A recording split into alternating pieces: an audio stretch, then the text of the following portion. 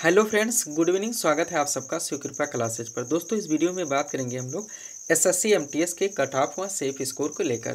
दोस्तों, ताकि हमारे प्रिपरेशन में एक अच्छी समझ हो सके कि इसका दोस्तों, कट ऑफ़ कैसा होता है स्टेट वाइज कट ऑफ़ कैसे देखा जाता है वह दोस्तों, प्रीवियस ईयर में कट ऑफ़ क्या आए हुए थे इस बार कट ऑफ़ क्या आने की संभावना हो सकती है। तो चलिए दोस्तों, ज़्यादा समय न लेते हुए हम लोग इन सभी बच्चों को समझना शुरू करते हैं। दोस्तों, इस बार जो वैकेंसी आई हुई है, वह है दोस्तों S S C M T S व हवलदार एग्ज़ाम दो हज़ार तेईस, जिसमें दोस्तों, टोटल पोस्ट हैं बारह हज़ार पाँच सौ तेईस। एक अच्छी खासी पोस्ट है दोस्तों, आप लोगों के लिए एक अच्छी खासी अपॉर्चुनिटी है। उम्मीद करते हैं कि आप लोग फॉर्म डाल के एक अच्छी प्रिपरेशन में लगे होंगे। जिसमें दो तरह के पद हैं दोस्तों, एक एमटीएस का, एक हवलदार का है। ग्यारह हज़ार नौ सौ चौरानवे दोस्तों पोस्ट एमटीएस के थे, वह हवलदार के पाँच सौ उनतीस थे। टोटल पोस्ट थे बारह हज़ार पाँच सौ तेईस। इन सभी चीज़ों को देखना, समझना आवश्यक है दोस्तों, ताकि एक अच्छी कट ऑफ़ हम लोग समझ सकें। शैक्षिक योग्यता जो टेंथ मांगी गई थी तो उम्मीद है दोस्तों आप सभी लोगों ने फॉर्म डाल के अपने एक अच्छी प्रिपरेशन में लगे होंगे। अब चलिए दोस्तों हम लोग कट ऑफ़ को समझना शुरू करते हैं।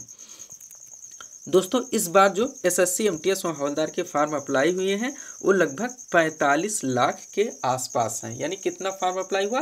पैंतालीस लाख के आसपास।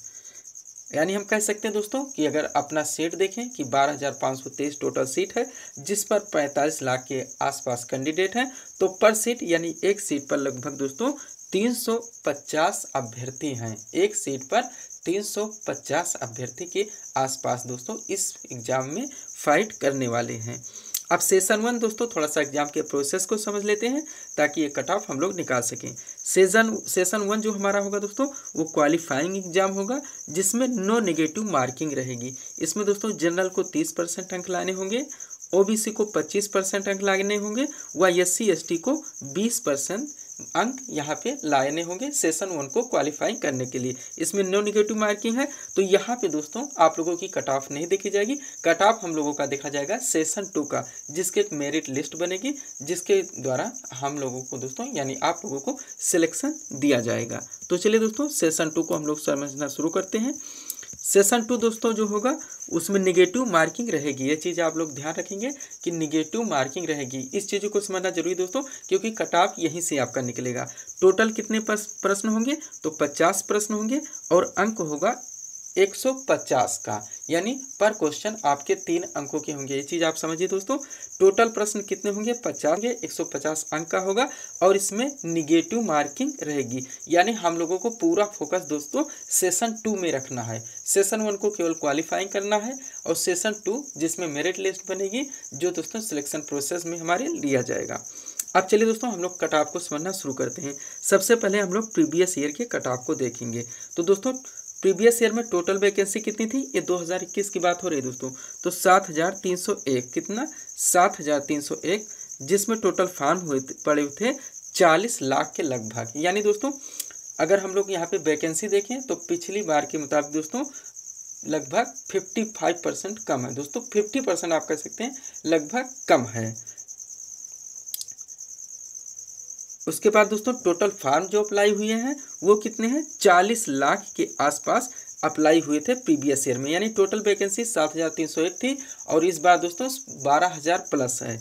और पिछली बार दोस्तों जो टोटल फार्म अप्लाई हुए थे, वो चालीस लाख के आसपास थे, जिसमें एक सीट पर लगभग 540 अभ्यर्थी थे।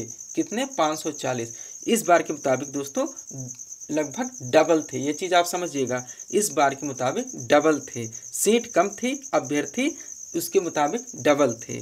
अब दोस्तों कट ऑफ़ देखते हैं हम लोग, जो गया था पिछली बार। ध्यान दीजिएगा दोस्तों ये क्वेश्चन पर है स्टेट वाइज कट ऑफ़ यहाँ हम लोग देख रहे हैं, क्योंकि दोस्तों, इसका जो कट ऑफ़ दिया जाएगा, वो स्टे, वो स्टेट वाइज दोस्तों जारी किया जाएगा।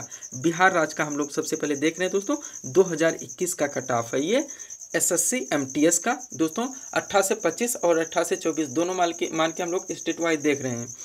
जनरल का दोस्तों 96 के आसपास गया था ओबीसी का भी 96 के आसपास। जनरल ओबीसी दोस्तों, हम लोग देखें तो लगभग सेम ही रहता है।